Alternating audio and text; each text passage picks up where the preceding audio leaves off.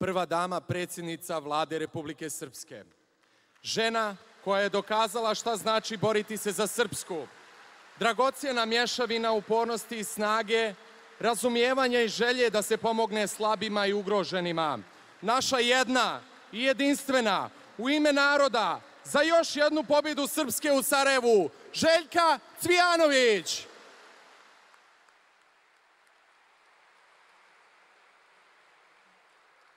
Dragi, dragi predsjedniče, dragi stranački prijatelji, dragi prijatelji, zahvaljujem vam se na ukazanom povjerenju, reći ću tako, da pronesem boje naše kuće, naše republike u Sarajevu, a odatle i svugdje tamo gdje treba da se brane njeni interesi. Hvala vam na tome.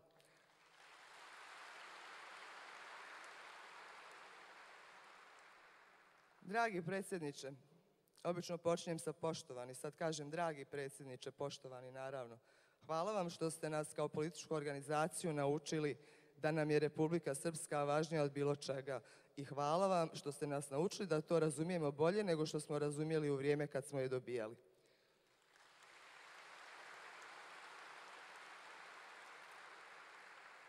Dragi prijatelji, hvala vam što smo sve ove godine bili na istom političkom zadatku u odbrani Republike Srpske, znajući šta joj to treba. Hvala vam što smo zajedno odlučili da je umijemo, obučemo, počešljamo, sredimo, spremimo i nađemo joj mjesto na političkoj i ekonomskoj sceni ove planete. Hvala vam.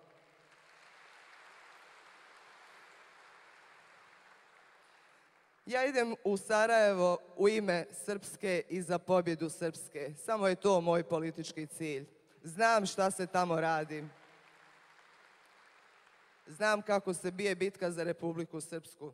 Naučila sam to zajedno sa Miloradom Dodikom i svima vama koji smo, kao što sam to rekla, bili na istom političkom zadatku. Ostajemo vjerni istom političkom zadatku. Znamo da bez toga nema budućnosti za nas. Mi nismo ljudi koji izmišljaju teme, mi smo ljudi koji rade, obavljaju svoje poslove, a sve ono što je ostalo iza nas govori o tome na koji način smo se obhodili i kako smo tretirali Republiku Srpsku i njene interese. Našli joj mjesto, odbranili je bezbroj puta. Ja želim da zahvalim predsjedniku Dodiku koji će ponovo biti naravno izabran za predsjednika zato što nema ni on konkurenciju s druge strane.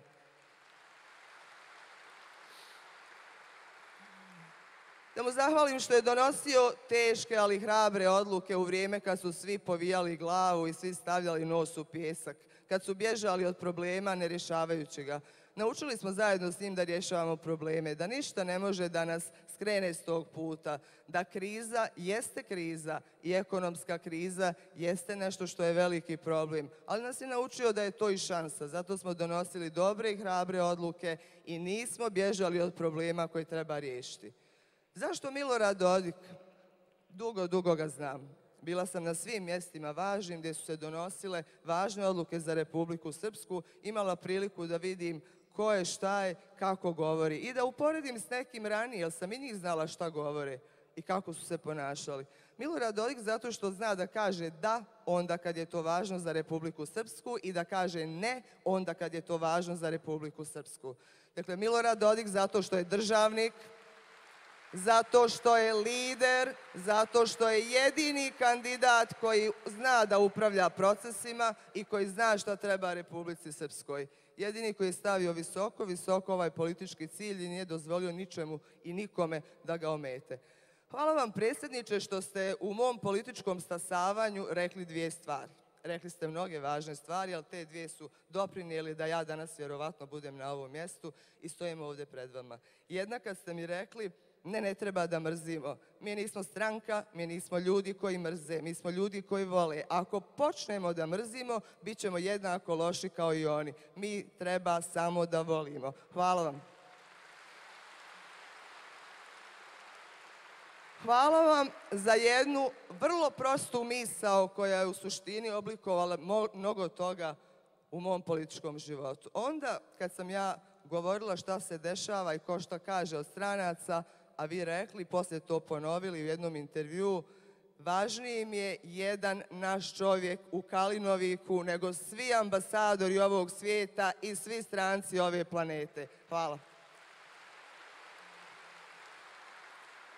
I meni je važno šta misli svaki naš čovjek, svaki naš čovjek širom Republike Srpske i znam da ću znati da branim njihove interese. Znala sam da ih branim na ovom mjestu, iako je to bilo teško.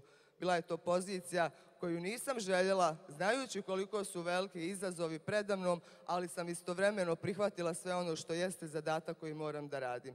I slušam sad tu opoziciju koja kaže od svega ovog Dakle, ne mogu da kažu da je bilo loše povećati penzije, a mi smo to uradili, povećati plate, a mi smo to uradili. Ne mogu naravno da kažu da je loše graditi autoput, jer smo mi nastavili da to radimo uprkos velikoj krizi. Ne mogu da kažu da je loše završiti ili nastaviti sa dakle, izvođenjem svih onih projekata koji su važni za, za Republiku Srpsku. Ostalo je da se bave mojim bijelim gumenim čizmama koje sam nosila u poplavi i ostalo je da kažu pa kako je upravljala? Plakala je.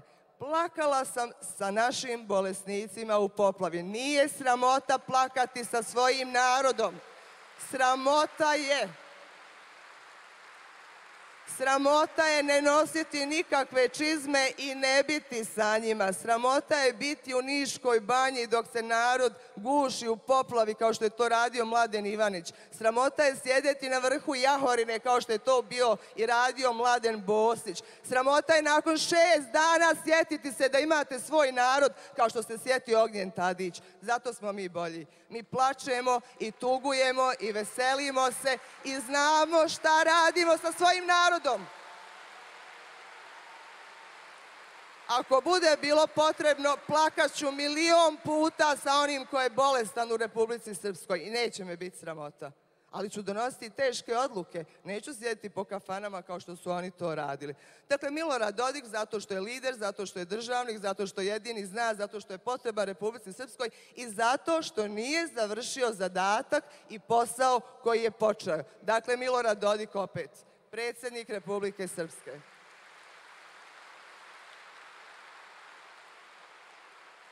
I u ostalom, šta se to nalazi s druge strane? S druge strane, kao ponuda imamo jednog politički ostarjelog, politički istrošenog dječaka koji nikada neće odrasti, koji nikada još nije rekao ni jednu smislenu političku ili ekonomsku misao, nikad se to nije desilo. Dakle, mi nećemo predsjednika Republike koji se zbunjeno kikoće, mi hoćemo predsjednika Republike koji udari rukom o sto i donese tešku odluku onda kad je ona dobra za Republiku Srpsku. Milorad Dodik.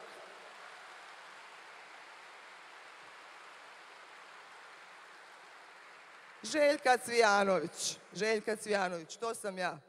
Hvala što ste, evo, hvala što ste rekli da sam ja ta koja treba da brani naše boje u Sarajevu. Branit ću ih časno. Sve što sam do sada radila, radila sam časno. Sve što sam radila, radila sam s narodom zato što ja jesam dio naroda.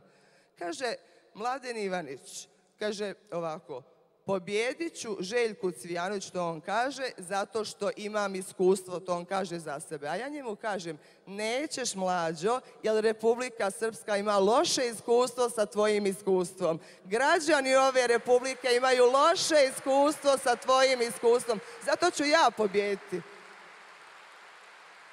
Ja ću pobjediti zato što sam nosila gumene čizme, ponosno, i spašavala naše građane. Zato što sam i ja donosila teške odluke. Zato što sam se radovala onda kad smo zabilježili pobjedu i tugovala onda kad nekome od bilo kojih koga u našem narodu nije bilo dobro. Ja ću pobjediti zato što sam ja odlučila i zajedno sa predsjednikom, sa svojom vladom i sa svima vama odlučila da uđem u priču koja se zove povećati penzije. Zato što Željka Cvijanović kad je došla na čelo vlade nije uskratila ni jedno od prava koje je Milorad Dodik uveo prije nekoliko godina kad je bio predsjednik vlade.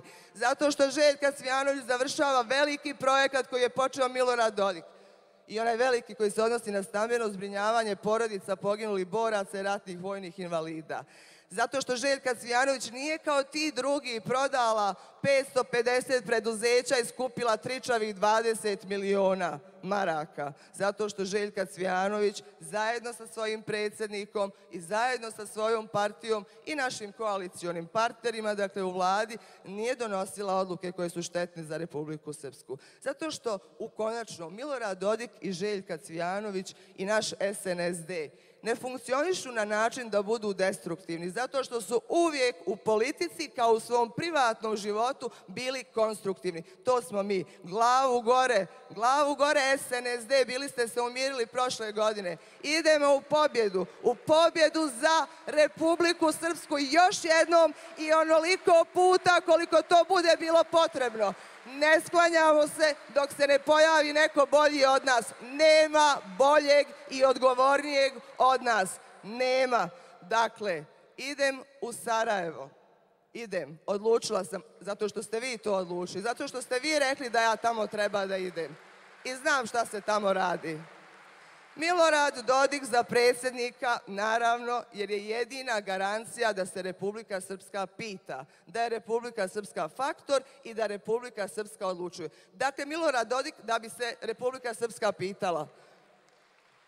Željka Cvijanović, opet iz istog razloga da se Republika Srpska pita, da se pita Banja Luka, da smo akteri u procesu i da znamo šta radimo. Dakle, glavu gore.